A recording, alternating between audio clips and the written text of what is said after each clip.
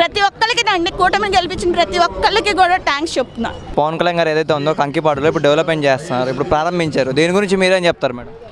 చాలా సంతోషంగా ఉందండి. కూటమి ప్రభుత్వం విఫలమైంది ప్రజలకు మంచి చేయడంలో అని చెప్పేసి అంటున్నారు కదా. ఏది రుజువు చూపించమనండి ఆయన్ని?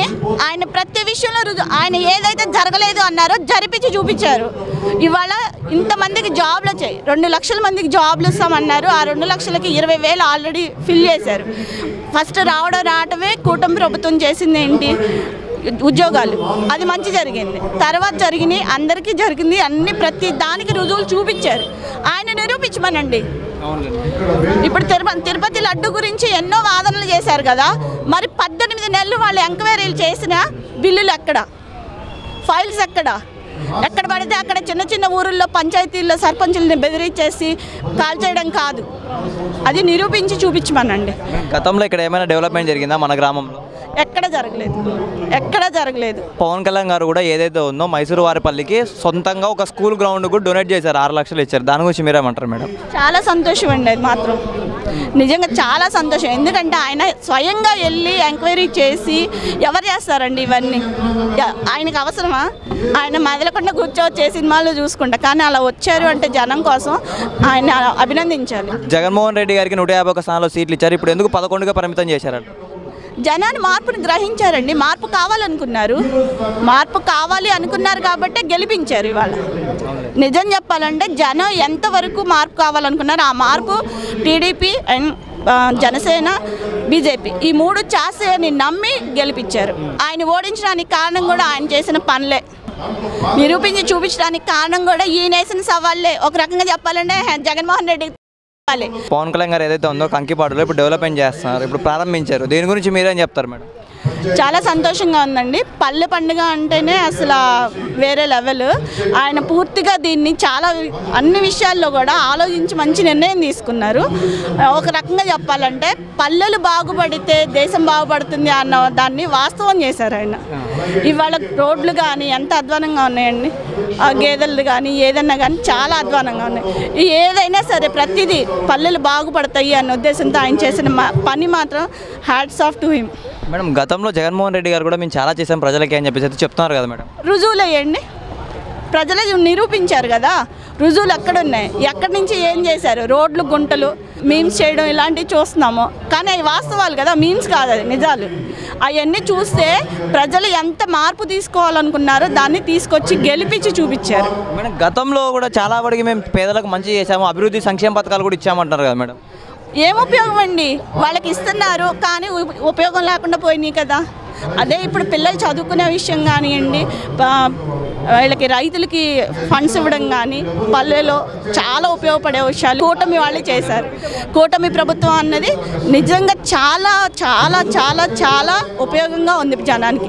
అలాగే పవన్ కళ్యాణ్ గారు డబ్బులు తీసుకొని మాత్రం చేసేవి కాదు ఇవి మనసులో ఉంచి వచ్చే మాటలు ఇవన్నీ. విమర్శలు పక్కన పెట్టాలండి. నిజాలు గ్రహించాలి. అదొక్కటే చెప్పగలం. ఎందుకంటే విమర్శలు ఎవరైనా చేస్తారు. జగన్మోహన్ రెడ్డి ఎన్ని చేస్తున్నారండి.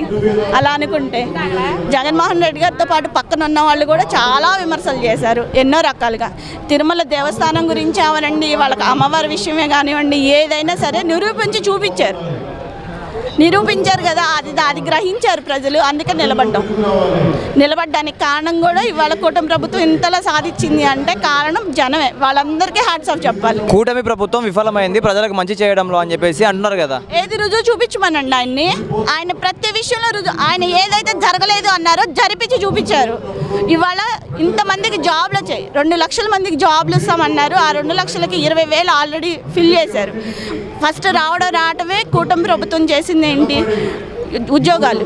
అది మంచి జరిగింది. తర్వాత జరిగినాయి అందరికీ జరిగింది అన్ని ప్రతి దానికి రుజువులు చూపించారు. ఆయన నిరూపించమనండి.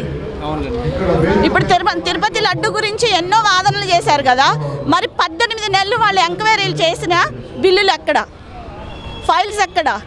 ఎక్కడ పడితే అక్కడ చిన్న చిన్న ఊరుల్లో పంచాయతీల్లో సర్పంచుల్ని బెదిరించేసి కాల్ చేయడం కాదు. అది నిరూపించి చూపించమనండి. గతంలో ఇక్కడ ఏమైనా డెవలప్మెంట్ జరిగిందా మన గ్రామంలో? ఎక్కడ జరగలేదు. ఎక్కడ జరగలేదు. మేము ప్రతి చోట తిరిగాం. తిరిగిన ఏ ప్లేస్లో కూడా డెవలప్మెంట్ అనేది లేదు. మేడం ఈ గతం వంద రోజుల పాలన చూసుకుంటే ఇప్పుడు వంద రోజుల పాలన చూసుకుంటే తేడా అంటే మీరేం చెప్తారు? హ్యాట్స్ ఆఫ్ టు చంద్రబాబు గారు పవన్ కళ్యాణ్ గారు. ఎందుకని మేడం? ప్రతి విషయంలో ముందడిగేశారు. వాళ్ళు చెప్పిన అంటే యువగళంలో కానీ ప్రజావేదిక కానీ ఏ విషయంలో అయినా సరే ప్రజా దర్బార్ కానీ ఏ విషయంలో అయినా ముందడిగేసి ముందుకు చూసుకొని ముందుకు వచ్చారు తప్ప ఆఖరికి చివరికి వరద బాధితుల గురించి ఆయన అంతలా శ్రమిస్తే కళ్ళతో చూసి కూడా ఆయన హేళనగా మాట్లాడాడు జగన్మోహన్ రెడ్డి. అది కరెక్టా? జనం అది గమనించారు కాబట్టే ఇవాళ ఇంత దూరం వచ్చారు. పవన్ కళ్యాణ్ గారు కూడా ఏదైతే ఉందో మైసూరు వారిపల్లికి సొంతంగా ఒక స్కూల్ గ్రౌండ్ కూడా డొనేట్ చేశారు ఆరు లక్షలు ఇచ్చారు. దాని గురించి మీరేమంటారు మేడం? చాలా సంతోషం అండి అది మాత్రం. నిజంగా చాలా సంతోషం. ఎందుకంటే ఆయన స్వయంగా వెళ్ళి ఎంక్వైరీ చేసి ఎవరు చేస్తారండి ఇవన్నీ? ఆయనకు అవసరమా?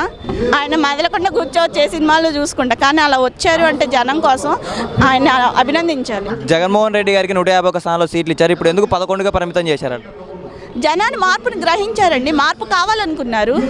మార్పు కావాలి అనుకున్నారు కాబట్టే గెలిపించారు ఇవాళ.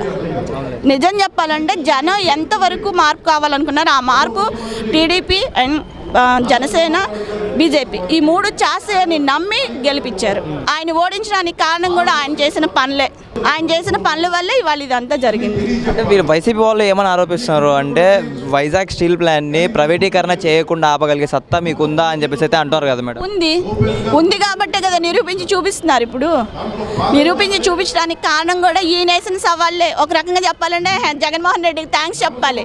ఎందుకంటే మా టీడీపీ వాళ్ళకి కానీ కూటమి ప్రభుత్వం మొత్తానికి కూడా ఛాలెంజ్ ఇచ్చాడు ఆయన. మేము చేసి చూపిస్తామని. అది వాళ్ళు చేస్తున్నారు. ముందడుగు వేశారు ఒకటి కాదు పది అడుగులు వేసినా కానీ ఏమీ చేయలేరు వాళ్ళు. వాళ్ళు ఇలాగే ఉండాల్సి వస్తుంది. పోను పోను అసలు వైసీపీ అన్న ప్రభుత్వం కనిపించదు. ఎందుకని మేడం? ఎందుకని? ఎందుకనండి ఇన్ని రోజులు కనబడుతుంటే జనానికి ఇంతకన్నా మార్పు కావాలా? ఇంతకంటే కావాలని కోరుకుంటున్నారా? ఉండొచ్చు. కాంగ్రెస్ ప్రభుత్వం మీద కానీ వైసీపీ మీద కానీ లేదంటే రాజశేఖర రెడ్డి గారి మీద కానీ ఏదైనా సరే అభిమానం ఉండొచ్చు. కానీ మన భవిష్యత్తు ఏంటి మన పిల్లల భవిష్యత్తు ఏంటి అనేది ఆలోచించుకుంటే ఖచ్చితంగా కూటమిని గెలిపిస్తారండి. అదే నిరూపించారు ప్రజలు. నిరూపించారు ఖచ్చితంగా నిరూపించారు. ప్రతి ఒక్కరికి అండి కూటమిని గెలిపించిన ప్రతి ఒక్కరికి కూడా థ్యాంక్స్ చెప్తున్నా. జనం అర్థం చేసుకున్నారు మేము మేము కార్యకర్తలుగా తిరిగిన దానికంటే కూడా ఒక సాధారణ మహిళగా నేను చెప్తున్నా మేము చూసిన ప్రతి ఇంట్లో పడ్డ బాధలు వాళ్ళు అనుభవించిన ఇవన్నీ ఆలోచించుకుంటే ఇవన్నీ జనం చూశారు.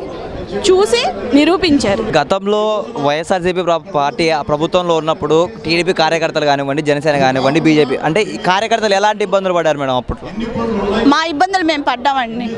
అబద్ధం ఎందుకు చెప్పాలి మేము జనానికి? మా ఇబ్బందులు మేము పడ్డాం. వైసీపీ మీద అభిమానంతో కానీ కాంగ్రెస్ అని కానీ వైఎస్ వైఎస్ రాజశేఖర రెడ్డి గారి మీద అభిమానంతో కానీ చాలామంది ఇప్పటికీ ఉన్నారు. కానీ వాళ్ళు కూడా నిజాలు గ్రహించి ఇవాళ ముందుకు నడిపించారు మమ్మల్ని. నిజం చెప్పాలంటే మేము వెళ్ళిన గుమ్మం గుమ్మం తిరిగిన ప్రతి చోట కూడా మమ్మల్ని ఎక్కడ ఇంత ఎందుకు వచ్చారు మీరు? ఈ టైంలో ఎందుకు వస్తారు మీరు? మీరెవరు ఎంక్వైరీలు చేయడానికి? అసలు మీకేం సంబంధం? ఇలా మమ్మల్ని అలా అవహేళన చేసినవి కూడా ఉన్నాయి. అలాంటివి మేము చాలా ఫేస్ చేసాం. కానీ మేమేమి కూడా భయపడలేదు.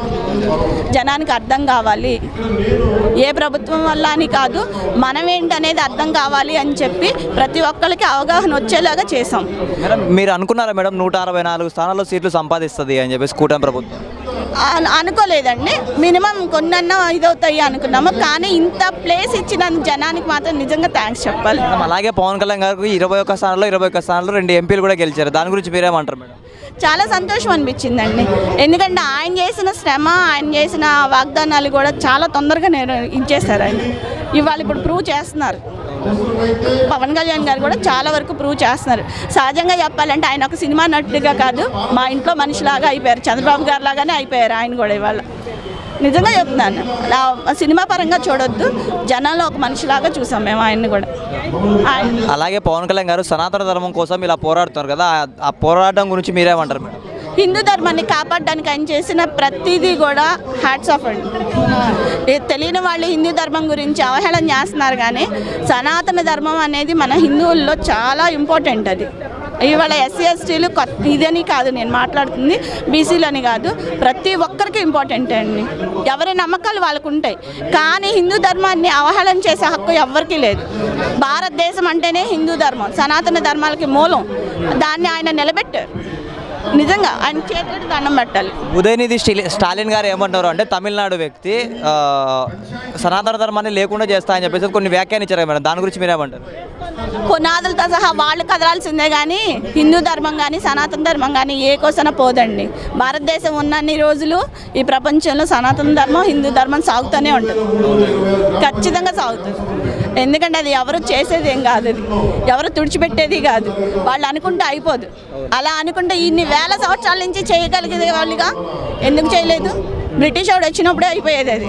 అవ్వలేదు కదా. వాడు వదిలేసిన కొన్ని మతాల ఇది ఇవాళకి మనలో ఉంది. అయినా హిందూ ధర్మం కానీ సనాతన ధర్మాలు కానీ పోలేదు. మన తాళపత్ర గ్రంథాలని అదని ఇదని ఎన్నో చూస్తున్నాం మనం.